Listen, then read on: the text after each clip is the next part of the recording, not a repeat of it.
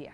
20 mil cestas básicas serão compradas pela Prefeitura de Joinville para ajudar famílias que estão precisando, passando por dificuldades neste momento. Pois é, o aumento no número de cestas tem relação com os impactos da pandemia em diversos setores. O David Sacramento é que vai explicar mais para a gente agora, né, David? Bom dia para você. Bom dia, Maria. Bom dia, Fernando. Bom dia a todos que estão acompanhando o SCC Meio Dia.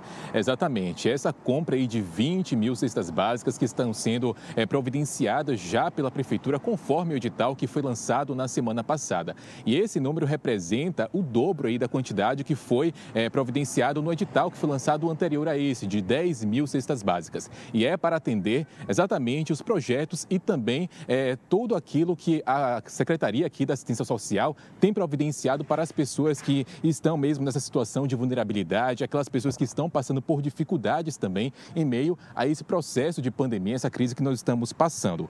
O aumento no número de cestas tem questão aí com os impactos da pandemia em diversos setores, como a área cultural, também o mercado de eventos, ou seja, como a pandemia, né, que foi possível aí que, é, perceber pela pandemia o aumento na procura pela demanda, então a prefeitura já está se adiantando. É, até quando vai a pandemia nós não sabemos, mas a, é, a prefeitura já está mesmo se adiantando com o planejamento aí do Comitê Estratégico de Assistência Social do Gabinete de Crise da Prefeitura de Joinville.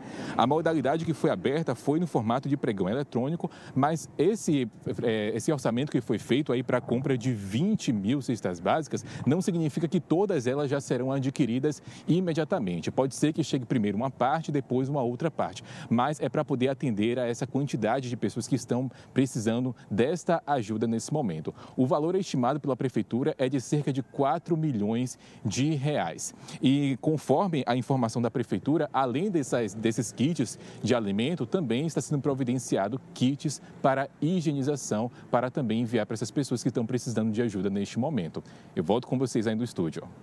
Tá certo, David. Muito obrigada pelas informações. Ainda hoje eu vou te chamar aqui, viu, David, para você contar a história da dona Eunir né, que fez ali os ovos de Páscoa. O David foi lá na casa dela, conferir tudo de perto. Uma diarista, viu, Fernando, que sofreu muito aí, perdeu muito emprego, né, as casas que ela trabalhava, mas deu um jeito agora. Na Páscoa ela vai conseguir uma graninha extra. Obrigada, viu, David? Até já. David Sacramento, ao vivo do norte do estado, ele está em Joinville, trazendo para a gente as informações do grande norte catarinense.